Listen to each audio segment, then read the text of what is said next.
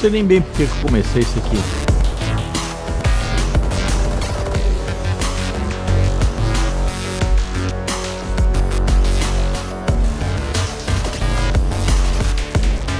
Acabei indo morar com ele no Brasil.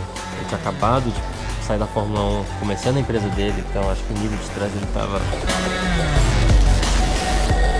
Acho que ele toma mais uma posição como pai e não tenta interferir tanto né,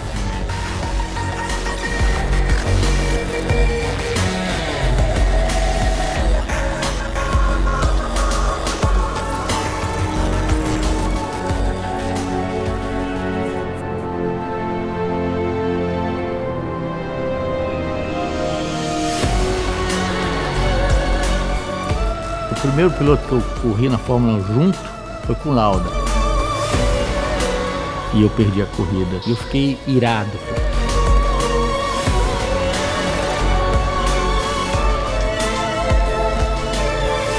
Olha, a Fórmula 1 hoje é um gado belo. Alonso está pagando seus pecados agora, que teve muitos.